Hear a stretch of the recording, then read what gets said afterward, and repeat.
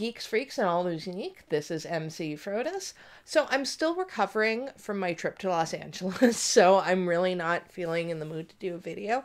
But I really wanted to just talk to you guys and tell you exactly why I'm not reviewing uh, Star Trek Picard.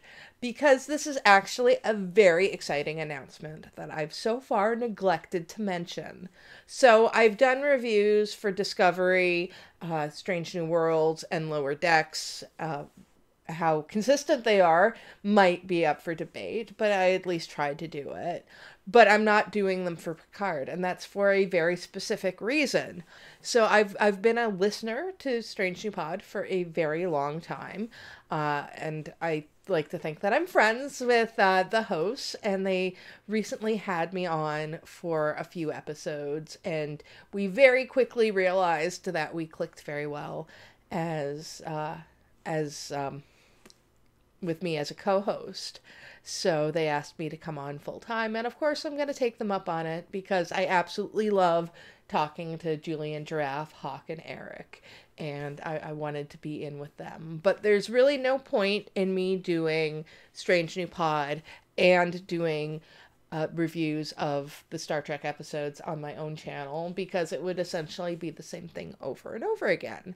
So, this channel is going to stay busy. Uh, hopefully, it'll get even more busy as I'm getting closer to the end of my degree.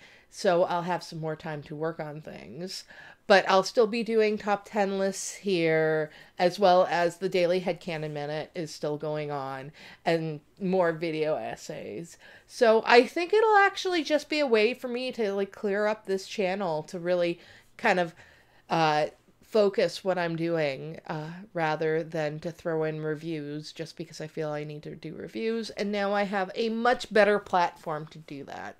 So if you want my opinions on all of the episodes of Picard and uh, Strange New Worlds and all of the other series, please go subscribe to Strange New Pod because I think we do really good episodes. And frankly, if you weren't listening to them before, uh, I don't know what you're waiting for because it's a really great podcast.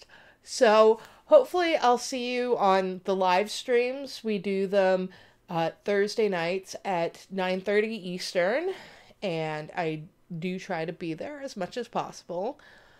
But until then, live long and may the force be with you.